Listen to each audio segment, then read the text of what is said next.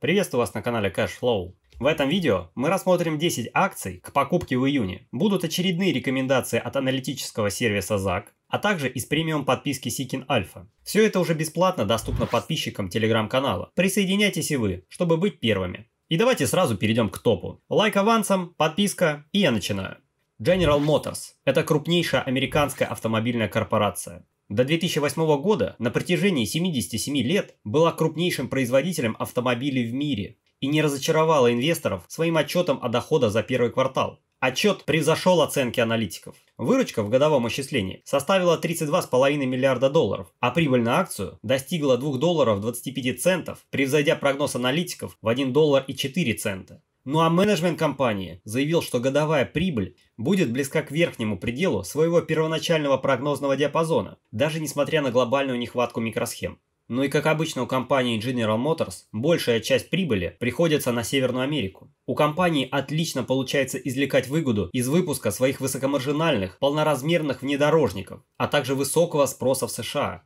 General Motors также добилась хороших результатов на другом своем крупном рынке – Китае. Поставки выросли на 69% в годовом исчислении.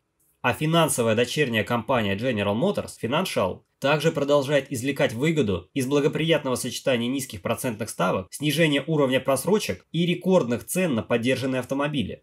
Но если взглянуть на финансовые мультипликаторы, то P на меньше 10, а средняя по рынку 17. В будущем видим, что значение немного подрастет до 11, но все равно находится ниже рынка.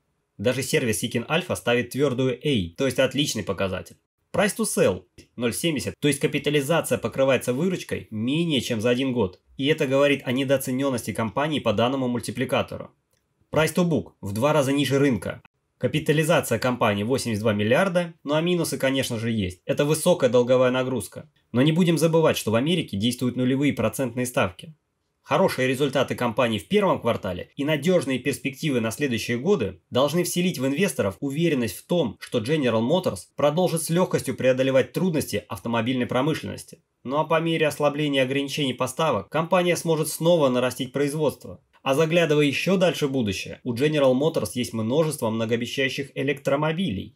Обратите внимание на перезапуск суббренда Hammer, а его дочерняя компания по производству автономных транспортных средств Cruise также обладает огромным долгосрочным потенциалом. И несмотря на эти сильные стороны, акции General Motors остаются довольно дешевыми. И это делает компанию чрезвычайно привлекательной для долгосрочных инвесторов. Кстати, именно эту компанию рекомендовали аналитики сервиса ZAC. Эта компания вошла в топ-7 лучших покупки в июне, ну, остальные 6 вы можете посмотреть у нас в телеграм-канале, ссылочка в описании. Ну а далее у нас IT-компания Ladles Holdings. Она предоставляет услуги и решения в сфере обороны, разведки и здравоохранения как в США, так и на международном уровне. Компания работает в трех сегментах – оборонные решения, гражданское дело и здравоохранение число ее клиентов входят Министерство обороны, внутренняя безопасность, Федеральное управление гражданской авиации и Управление транспортной безопасностью. И обратите внимание на последние финансовые показатели. За квартал прибыль выросла на 8%. Темпы роста прибыли были немного ниже средних показателей компании за последние годы, в то время как рост выручки был даже выше. В настоящее время показатели оценки выглядят очень хорошо. Пинаи составляет всего 20,5, а форвардные пинаи 16,5. Оба этих показателя ниже средних по сектору, так же как и P на S, которая чуть выше единицы. Ну а по Price to Book компания оценена справедливо. С точки зрения теханализа, акции готовы развернуться вверх. Если мы соединим минимумы марта прошлого года и минимумы октября, мы получим восходящую линию тренда, которая сейчас находится ниже текущей цены. И эта линия тренда может стать поддержкой и будет двигать акции вверх. Но все же главным драйвером роста в июне будут основные фундаментальные показатели. Они остаются сильными. Стабильная прибыль и рост выручки, рентабельность собственного капитала выше среднего, а показатели оценки особенно привлекательны в этой компании. Ну а следующая компания – одна из лучших по версии сервиса Seeking Alpha, скрины из которого я также публиковал в телеграм-канале. Citigroup Прошлый год был тяжелым для банков, поскольку они были вынуждены отложить миллиарды долларов, чтобы защитить себя от потенциально разрушительных потерь по судам из-за пандемии. Однако благодаря действиям правительства США и Федеральной резервной системы все стало не так плохо, как могло быть. Citigroup проводит гигантское количество всевозможных операций. Банк обслуживает розничных клиентов через свой сегмент потребительского банкинга, который предлагает кредитные и депозитные продукты, а также институциональных клиентов через свой инвестиционно-банковский сегмент. Последний, кстати, обеспечивает гораздо большую часть выручки – в 63%. Финансовые показатели Сити в первом квартале были неоднозначными. Банк обеспечил 5% рост выручки в годовом исчислении в институциональном сегменте, но показал снижение на 14% в годовом исчислении в потребительском сегменте. Компания упомянула, что более высокие платежи по кредитным картам стали причиной сокращения доходов потребителей, поскольку заемщики выплатили долги и потратили меньше денег, ну а некоторые сектора экономики все еще закрыты. Прибыль Citigroup в первом квартале составила 3 доллара 62 центов на акцию, при выручке 19,3 миллиарда долларов. Банк показывает хорошие результаты, но по сравнению с его конкурентами ему придется еще наверстывать упущенное. Мультипликатор P на I сейчас в районе 10, это чуть ниже, чем средняя по рынку, а капитализация покрывается выручкой чуть более чем за 2 года, что также является ниже среднего по рынку. А такое низкое отношение цены к реальной балансовой стоимости дает возможности Сити догнать другие крупные банки, такие как JP Morgan и Bank of America. И также стоит отметить, что банк платит неплохие дивиденды. Сейчас они составляют 2,6%. Компания L Brands превратилась из специализированного розничного продавца одежды в лидера сегмента, ориентированного на женское белье, средства личной гигиены, косметику и парфюмерию для дома, Компания владеет такими известными брендами, как Victoria's Secret и Bath Body Works. На мой взгляд, ключевыми факторами роста данной компании является ослабление ограничений, вызванных пандемией, государственные стимулирующие выплаты, а также главный ориентир компании – это выход на международные рынки. Все эти факторы обеспечивают долгосрочные возможности для роста акций. А хороший последний отчет привел к более лучшим прогнозам как компании Best Body Works, так и Victoria's Secret, L-Brands теперь прогнозирует прибыль на акцию от 85 центов до 1 доллара. И что немаловажно, компания объявила о новой программе выкупа акций на сумму 500 миллионов долларов. Ну а что касается фундаментальных мультипликаторов, то P/E в районе 14, а форвардный 13. Оба этих показателя ниже средней по рынку. Капитализация покрывается выручкой всего за полтора года, ну а из минусов это высокая долговая нагрузка. Учитывая то, что последние три месяца акции L-Brands выросли и превзошли показатели отрасли, инвесторы стали с оптимизмом смотреть на недавние шаги компании, которые включают в себя повышение прибыли за первый квартал 2021 года, а также планы по повышению акционерной стоимости и погашению долговой нагрузки. Эти действия говорят о том, что руководство положительно оценивает результаты деятельности компании в предстоящие периоды. Все эти факторы являются триггером роста акций в целом, на мой взгляд, потенциал еще не исчерпан, и акции продолжат расти. Аналитики считают 79 долларов справедливой стоимостью компании. 10 рекомендуют покупать, 7 держать.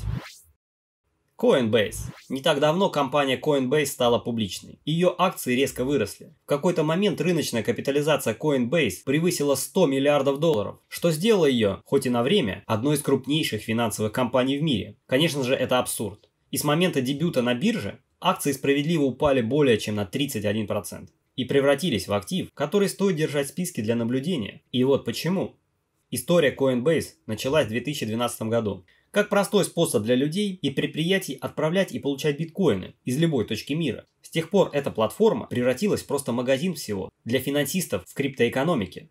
Платформа предлагает пользователям более безопасный способ хранения и операций более чем с 45 типами криптоактивов, а владельцы могут задействовать некоторые из своих криптоактивов, зарабатывая проценты, размещая их на платформе Coinbase. Кроме того, они могут использовать свои активы для финансирования карт Coinbase. Да, это дебетовые карты, которые можно использовать в любом торговом центре. И на текущий момент Coinbase имеет огромную пользовательскую базу в 43 миллиона розничных инвесторов и 7 тысяч организаций, разбросанных по всему миру. Компания также извлекла выгоду из резкого роста цен на биткоины. Выручка увеличилась более чем до 1,3 миллиардов долларов, чему естественно поспособствовал рост объемов торгов. И это уже серьезные достижения, но платформа Coinbase на этом не останавливается. Для нее все только начинается. И как бы мне не хотелось добавить такой мощный актив в свой портфель, стоит помнить, что криптоэкономика все еще находится в самом начале своего пути. Могут появиться новые конкурентные угрозы, а также новые технологии, и хотя Coinbase уже имеет серьезное преимущество в этой отрасли, нет никаких гарантий, что она сможет успешно использовать это в течение длительного времени. Да и акции также выглядят дорогими. И на данный момент по мультипликатору ПНС торгуются в 24 раза выше своих продаж 2020 года. Но на мой взгляд, инвесторы должны держать такую компанию в своем watch-листе и наблюдать, станет ли ее оценка более приемлемой. Возможно, это произойдет уже в июне.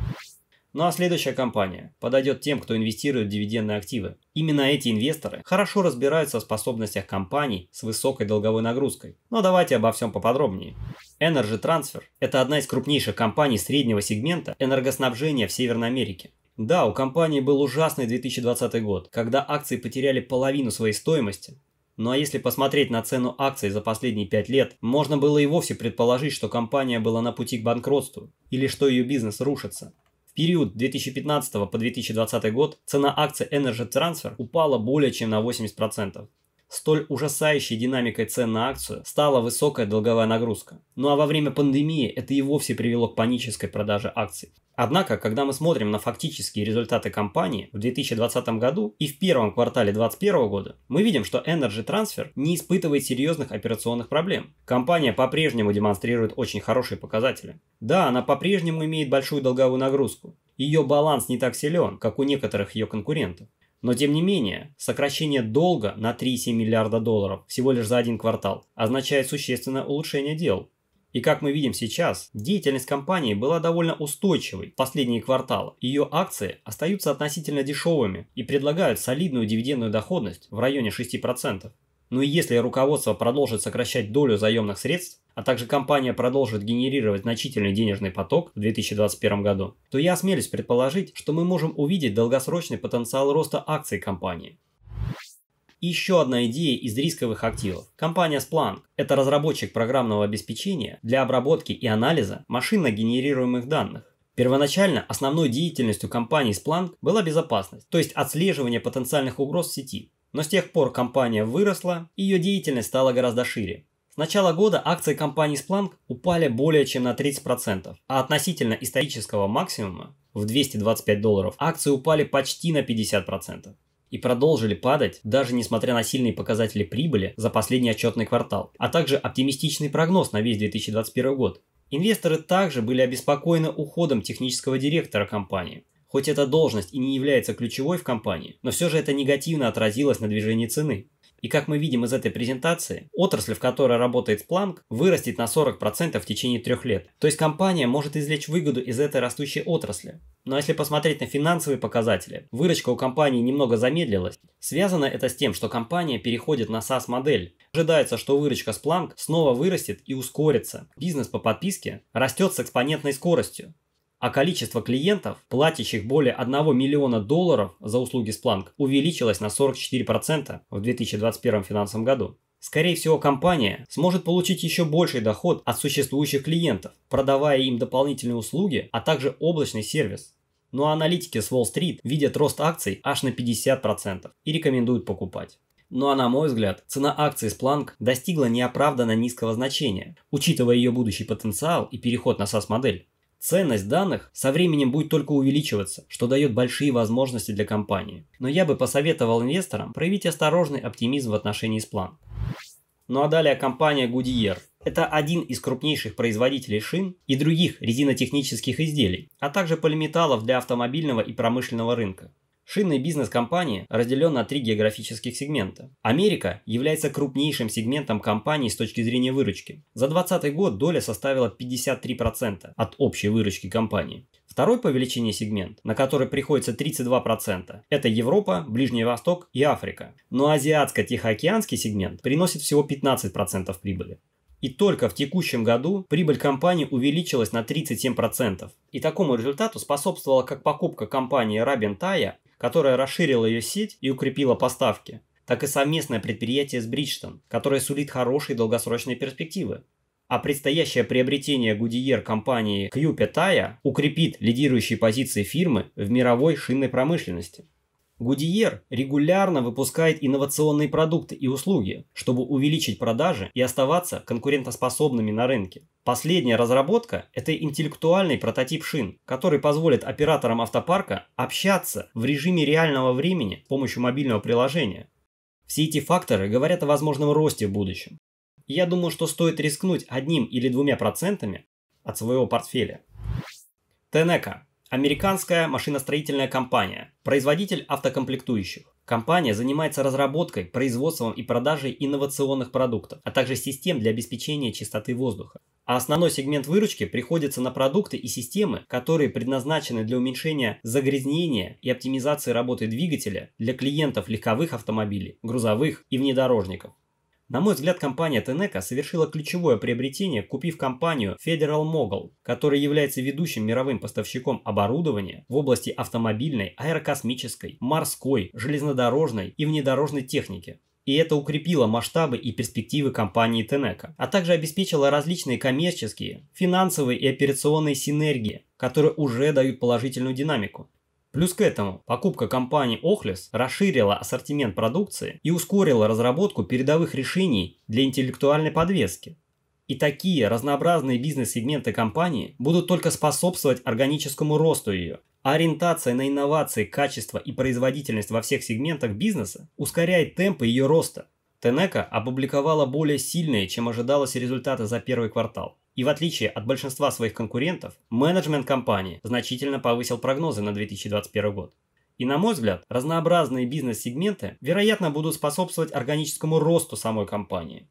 Ну а из китайских активов я бы выделил Випшоп. О компании Випшоп я подробно рассказывал в этом видео. Идея с Випшоп, мне нравится стратегии их флеш-продаж. Принцип очень простой. Два раза в день, утром и вечером, компания предлагает различные продукты со скидкой до 70%. И люди внимательно следят за такими скидками. Это становится чем-то вроде ежедневного ритуала. Зайти на сайт и посмотреть, какие товары продаются с дисконтом. В свою очередь Випшоп является крупнейшим интернет-ритейлером в Китае, у которого работают более 1300 специалистов, которые курируют выбор, используя аналитику данных и отношения между брендами и клиентами. Я считаю, что цена сейчас очень привлекательна. Текущий уровень представляет собой хорошую возможность для покупки. Показатели, которые мы рассматриваем, включая текущий форвардный ПНЕ в районе 13, ну а мультипликатор ПЭК, который я также отмечаю, менее единицы, что говорит о хорошей покупке в этот момент. Долгов у компании практически нет, и это хорошо. Все же в Китае не такие ставки, как в США. Да и без долгов компании легче расти и развиваться. Ну и денежные потоки за последние годы, как мы видим, тоже растут. И прогнозы по росту также позитивные. Если компания сможет превзойти ожидания аналитиков, то это может дать сильный импульс для роста акций в будущем. Ну а по мнению аналитиков с Уолл-стрит, справедливая цена находится в районе 31 доллара, то есть рост более чем на 37%. И если видео было вам полезно, то обязательно поставьте лайк, подпишитесь на канал и переходите к нам в Телеграм. Ну а также напишите, какие акции вы покупаете прямо сейчас. А у меня на этом все. Всем спасибо за внимание.